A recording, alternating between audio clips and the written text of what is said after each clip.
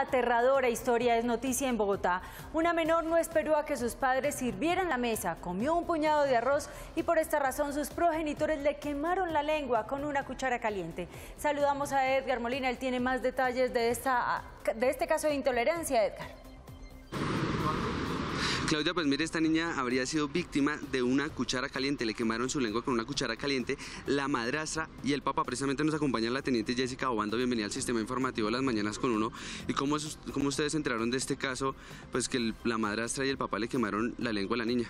Eh, buenos días, efectivamente, miembros de la Policía Nacional el día de ayer eh, da con la captura de dos eh, personas por el delito de violencia intrafamiliar agravados, hechos ocurridos el 20, de junio del presente año, donde una menor es brutalmente agredida por su papá y su madrastra por haber ingerido un poco de, arroz antes de ser servido a la mesa, es castigada con una cuchara caliente eh, en, su, en su lengua, ella posteriormente escapa, eso fue en la localidad de Usme, hasta la localidad de, de Suba, donde ubica la peluquería de su tío, su tío posteriormente la lleva donde su mamá, y eh, se instaura la, denuncia en el CAVID, en el Centro eh, eh, Integral a Víctimas, el Centro Penal Integral a Víctimas, mm, donde se instaura la denuncia formal.